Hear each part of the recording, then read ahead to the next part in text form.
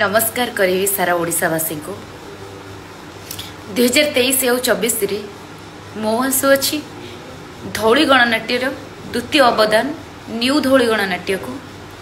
ନାଟକର ନାଁ ହେଉଛି ନିଝୁମ କାନ୍ଦି କାନ୍ଦି ବେହାଲ ହେଲେ ନିଶା ମରାଣା। ଯାହାକୁ ନେଇ ଉଠିଥିଲା ବିବାଦ ଯାହାକୁ ଟିକେ ସୁଯୋଗ ପାଇଲେ ଲୋକମାନେ କରନ୍ତି ସମାଲୋଚନା।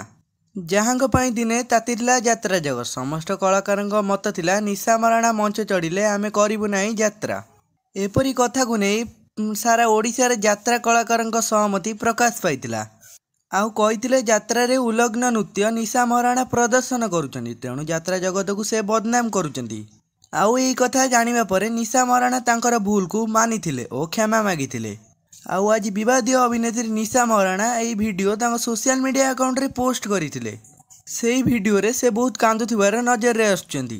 ଓ କହୁଛନ୍ତି ଦୁଇହଜାର ତେଇଶ ଚବିଶରେ ସେ ଧଉଳି ଗଣନାଟ୍ୟର ଦ୍ୱିତୀୟ ଅବତାର ନ୍ୟୁ ଧଉଳି ଗଣନାଟ୍ୟକୁ ଯାଉଛନ୍ତି।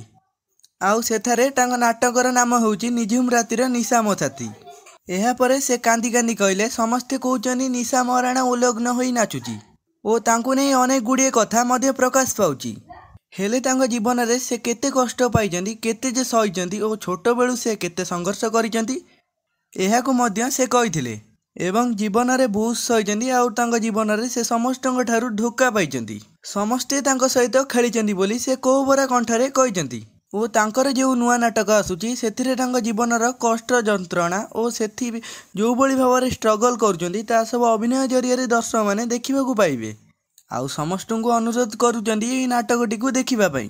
ଆଉ ଥରେ ନାଟକଟିର ନାମ କହିଦେଉଛି ନିଝୁମ ରାତିର ନିଶା ସାଥୀ। ତେବେ ଏହି ନାଟକଟିକୁ ନିଶ୍ଚୟ ଭାବରେ ସମସ୍ତେ ଦେଖିବା ପାଇଁ ଯିବା ପାଇଁ ଅନୁରୋଧ କରିଛନ୍ତି ନିଶା ମହାରାଣା। ତେବେ ଆମେ ପ୍ରଭୁ ଜଗନ୍ନାଥଙ୍କ ପାଖରେ ଏତିକି ପ୍ରାର୍ଥନା କରୁଛୁ ନିଶା ମହାରାଣା ସବୁବେଳେ ଖୁସିରେ ରୁହନ୍ତୁ ଓ ତାଙ୍କର ଚଲାପଥ ଖୁସିନିତ ହେଉ।